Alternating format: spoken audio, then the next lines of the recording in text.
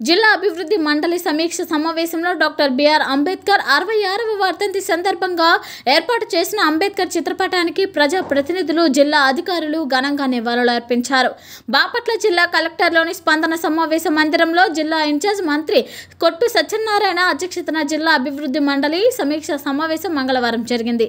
సమావేశానికి ముందుగానే అంబేద్కర్కు నివాళులు అర్పించిన వారిలో Rajya Sabha Mopidevi Venkataramana AP legislative chief chief whip Ummareddy Venkateswarlu Prakasam Zilla Parishad chairperson Shrimati Boochepalli Venkayamma జిల్లా కలెక్టర్ కె విజయకృష్ణన్ జిల్లా సంయుక్త collector doctor K Srinivasulu Bapatla MLA Kona Raghupathi Chirala శాసనసభ్యులు కరణం బలరాం కృష్ణమూర్తి జిల్లా అధికారులు తదితరులు పాల్గొన్నారు.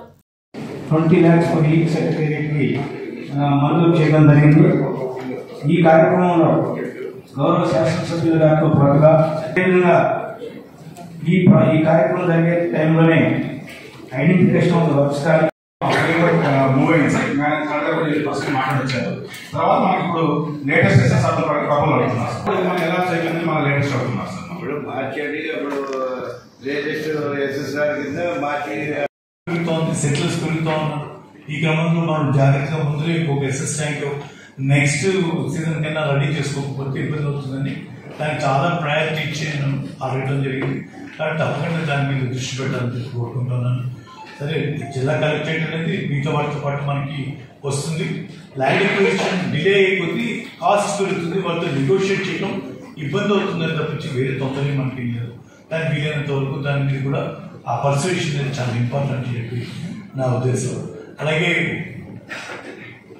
మోడరేషన్ నలబడ కూడా యాక్చువల్గా అవసరం.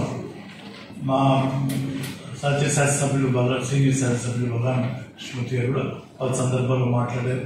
మా అందరికీ కూడా అగ్రికల్చర్ బేస్ మీద అగ్రికల్చర్ యాక్టివిటీ మీద బేస్ అయినటువంటి నియోజకవర్గాలు కానీ వీటి మీద నలమడ అనుకోని విధంగా మరి అపర్చునిటీస్ ఏదైనా హెవీ రేన్స్ పడితే మొత్తం సఫర్ అవ్వాల్సింది బాపట్ల. బాపట్ల మునిగిపోతుంది.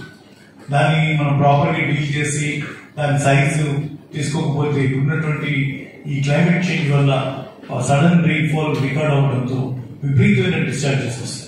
వచ్చినప్పుడు ఈ చివర మనం ఉండటంతో దాని ప్రభావం అంతా కూడా బాపట్ల నియోజకవర్గం కొంత చీరంగ నియోజకవర్గం మీదే పడుతుంది.